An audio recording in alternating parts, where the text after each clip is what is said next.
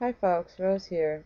I just wanted to mention an article which I found in several locations which um, I believe is, uh, a, is a true article.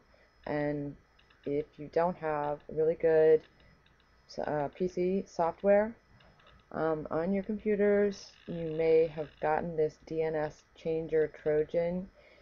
And what happened was when this DNS changer Trojan uh, went out and kind of infected a lot of computers, the FBI went and did some uh, fixes.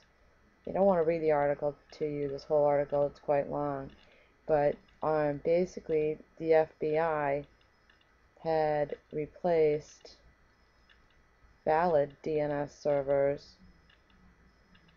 Sorry, they had replaced infected DNS servers with a surrogate DNS server. And they've had this in place since I think November of last year.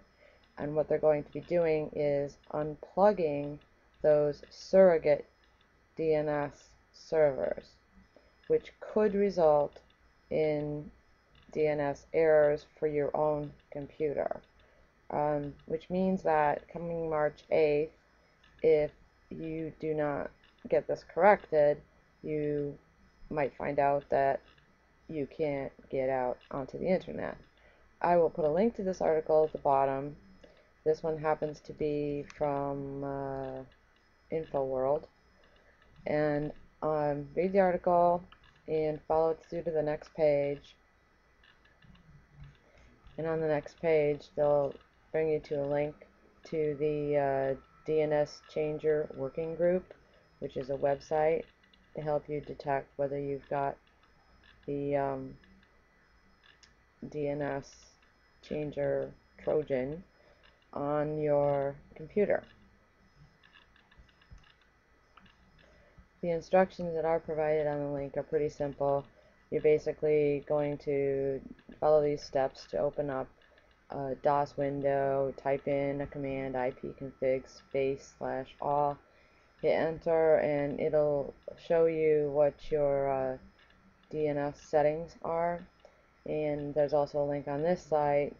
I'm to click it. And now I have to move my window. Hold on. And it comes up uh, with a list of DNS settings. That if your DNS settings are in these ranges this IP and this IP then you've been affected by the DNS changer virus, or also called a Trojan. Um, how do you fix that? That I am not sure of. I have not found um, that information, how to fix it. Uh, one thing I will add though is if you're working off a router, say you've got several computers in your house, you're working off a router, your router also has an IP address and that might be the primary IP address so you should check your router as well. And if you don't know how to do that find a techie to help you do that. Um, this is just kind of basic information I think that should get out there that people should know about.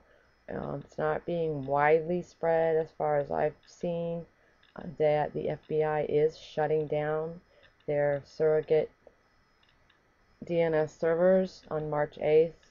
Um, you know, is that on purpose or not on purpose? I don't, I don't think either way.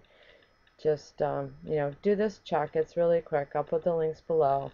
And again, this is just for information, um, trying to help out folks so they don't get a surprise on March 8th when they can't get to the internet. And good luck.